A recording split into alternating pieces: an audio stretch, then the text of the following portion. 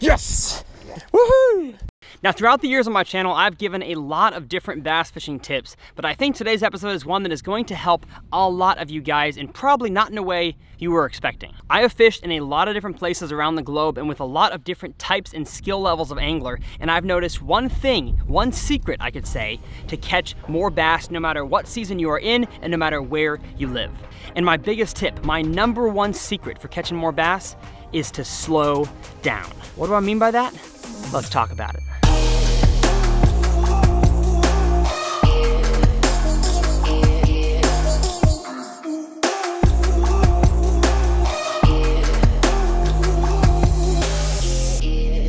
Well, how's it going everybody and welcome back to TRF. My goal here on this channel is to help you guys become better bass anglers and catch more bass no matter where you live in the country. And so if you guys are not subscribed, hit the subscribe button. We are trying to build an awesome community of learners here on this channel. And of course, I'm learning right along with you guys on my bass fishing journey. Now, if this video piques your interest in some way, whether it makes you want to catch your first bass ever or more bass than you ever have before, I've made tons of bass fishing instructionals and I will make tons going forward for the next however many years I do this for. And so if you guys are curious about a certain topic or a lure, make sure you guys search on YouTube Tyler's Reel Fishing and then insert whatever topic you wanna know about. And I'm sure I have a video already out there on that topic. So like I said in the intro, my topic of today's video is the number one secret I have to catch more bass no matter where you are.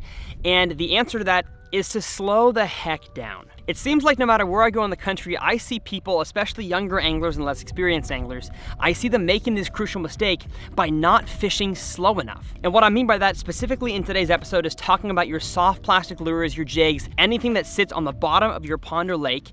I hardly ever see people fishing them slow enough. Now, what do I mean by fast versus slow when it comes to lures that are on the bottom? Well, the first thing you have to understand is that the fish, when they're, when they're following and wanting to eat those sorts of things, hardly ever are you going to catch them up in the water column. Now y'all are gonna have to take my word for it, but I have not caught many bass on a soft plastic when it is up in the water column, besides maybe a wacky rig Senko and a weightless fluke. I catch plenty of fish like that up in the water column. But when I'm talking about your, your standard Texas rigs, creature baits, jigs, those are most often going to be fished on the bottom. And when those fish want it on the bottom, you better put it there. Too many dang times I see people fishing for fish that want it on the bottom and they will not fish slow enough. I know it's exciting to fish, you know, reaction baits and, and casting and reeling back in, but you have to force yourself to slow down. I know this tip may be a complete no-brainer to some of you guys watching, but I guarantee you, a lot of you guys out there, I'm not trying to call you out or anything, Actually, yes, I am. You are not allowing your lures to A, get to the bottom at all sometimes, and B, you are not fishing them slow enough. When my dad and I first started fishing together, the one thing that I kept having to tell him was, Dad, let your lure sink to the bottom. It's not that hard. And I was catching more fish than him and definitely bigger fish than he was. And the only reason was because I was letting it sink to the bottom and was actually working it slow enough for those fish to find it and eat it. Now, as always, disclaimer, I'm not saying you can't catch fish up in the water column. I'm not saying you can't catch fish swim in a jig or swim in a soft plastic because you can. But for the most part, especially in this spring season that I'm filming this video in today, the fish want it presented on or very close to the bottom and they want it worked very slow so they can track it down, find it, and eat it. You're gonna see tons and tons of big fish catches in today's video, and the only reason why I was able to catch these fish was because I made slow, methodical passes through these areas, and this of course applies to whether you're fishing on the bank, you're fishing in your kayak, or you're in a bass boat like I am today. The only reason why I caught the fish that I will catch in this video is because I fished slow and methodically. As a matter of fact, Here's an example of how slow I was dragging and hopping my soft plastic. You freaking dumped it though. I mean, as soon as Good. Sitting there, you could feel it climbing over rocks. Mm-hmm.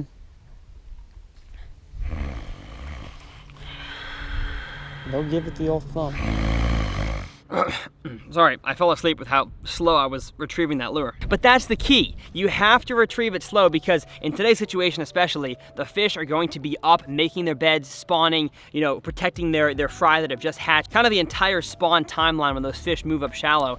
And casting and retrieving your soft plastics and hopping it, reel, hop reel, you're just not gonna catch as many fish. The guy that I fished with in today's video, who you'll see in some of this footage, he was uh, actually the winner of the Bass for Beckers Muscular Dystrophy uh, Foundation that I helped raise money for, and he actually won the giveaway trip from last year's month, which by the way, I will be doing another giveaway trip here soon on the channel, so make sure you guys are uh, watching out for that come this fall. But I caught more fish than him, not because I had the front of the boat, as you'll see, it was because I fished slower than he does, and every time that he would slow down, he would start catching more fish. So I'm not trying to call Garrett out, but there was times when he would be retrieving it too fast, and I'd have to tell him, hey, slow down. The fish want it presented slower. So before every single one of these fish catches, I'm gonna leave in a little bit more space for when I work the lure than I usually do in videos. I usually kind of cut right before, maybe four or five seconds before the fish catches. I'm gonna show you guys probably the entire cast, maybe even a cast before all these fish catches to show you exactly how slow I'm working this thing and that can hopefully kind of retrain your mind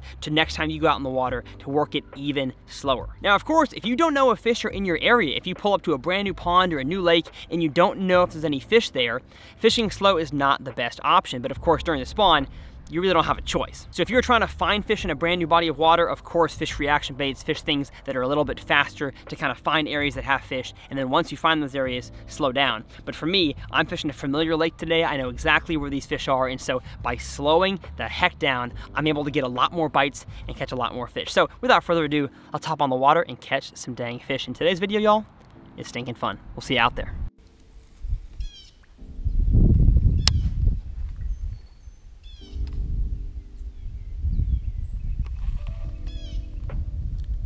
There's one. Oh, ah, right there.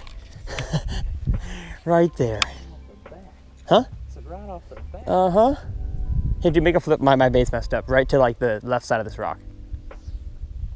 And then pull it this way a little bit. We're like, I don't want to use the trolling motor because we're already really close to the fish. He didn't feel big. Mm, oh, you got him. Hey, hey, let's go. yeah, sure. Get on the face. Heck yeah. That was probably the one that I missed.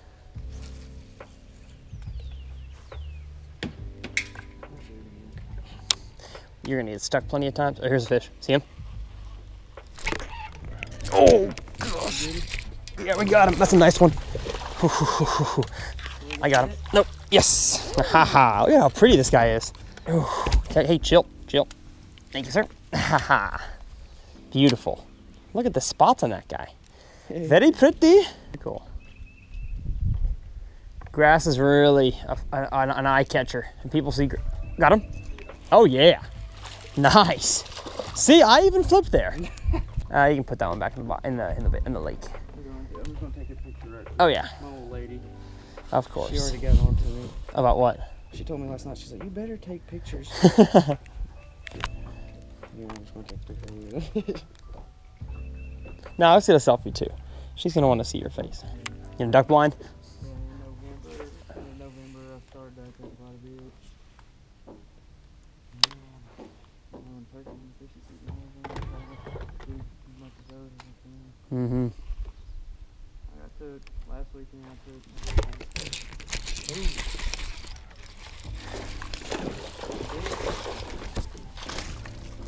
Yes. freaking boat flip. Woohoo! That's what you call a boat flip right there, folks. Over the dock. That was crazy. Oh man, that hook got him good too. There you go. Boom, baby.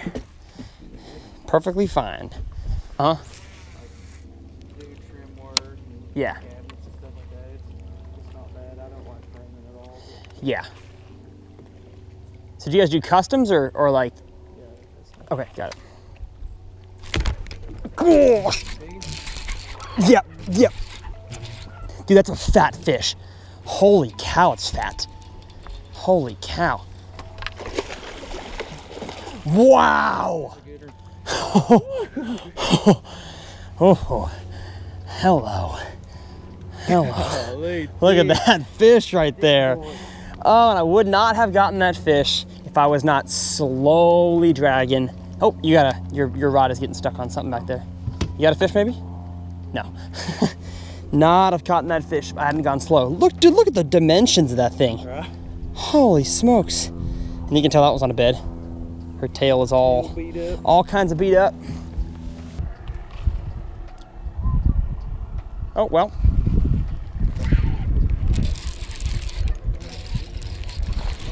Gosh. No, I got it. Yes, sir. Let's go. That's a chunky monkey right there. All right, well, they're here too. I was just saying that I'm not, you know, wasn't quite sure about this stretch. That's usually when you get a bite, you know. That's a chunky fish, and you ate the space monkey. Ate a space monkey in his face. Oh, that's fun.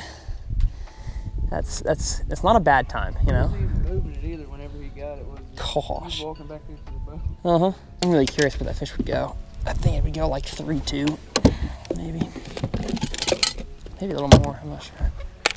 Yeah, three point three seven. So take off a tiny bit. Three, three fifteen probably. That's a chunky fish right there. Heck yeah. Low and slow wins the race. Again, though, when you're out here, y'all, you can't really necessarily see all the stuff the fish are spawning on. So whether it's stumps or any sort of cover that's down there that they spawn next to, you just have to fish really, really slow. And again, you can't really show up to an area you've never been to and just start fishing slow because you don't actually know if there's fish there. But as soon as you start making a pattern on your home lake, uh, maybe it's areas that you were catching on a jerk bait or a spinner bait or chatterbait in the pre-spawn, you know the fish are probably close to that area. And if that water temp gets up into the lower 60s, you know that those fish are about to do their thing. So you can afford to spend some time fishing real slow like we are. That was probably the cable. Yeah, that was the cable. Felt like my line was moving sideways, but it was the cable. Most likely. Well, that's a fish. Yep. Hello, buddy. Hello. What up? All right. Well, that's that's the first. We I caught the three pounder right there, on the other side of this when we first pulled in, and now I just caught this fish. So, I think this area has a few more active fish. Thanks, buddy. Go do some growing up for me. All right, y'all, to end out this video, I found a fish on a bed that is so stubborn. I'm sitting right here, and it will not eat. This is a classic spring situation. That That is why, as I've reiterated again and again in this video, the whole purpose of it is you have to fish slow in the spring. Once you know that fish are in that area, you will never be able to pass by a bank enough to catch every single fish that is on that bank because there's just too many of them. And they're at all different stages of the spawn, pre-spawn, post-spawn spawn, and uh, you really gotta slow down. With this fish here, hopefully I can prove it to you guys here. This is just a stubborn fish. Got him. There we go. Ha ha. Heck yes. Watched him suck it in. Buddy. Hey. Hey. You're a nice one. Let's go. Well, thank you guys so much for watching this episode of TRF. Uh, took me quite a few minutes to get that fish to bite. And again, you're not gonna catch every single fish down the bank because there's so many of them. But this is definitely the best time to be fishing the bank is the springtime and the spawn because there's just tons of fish like this waiting to be caught. So if you guys are not subscribed to the channel, hit that subscribe button. I love teaching you guys how to become better bass anglers. And I feel like today's episode was fairly basic, but it's gonna help a ton of you guys out there just slow down. My name's Tyler. We'll see you guys next time on TRF.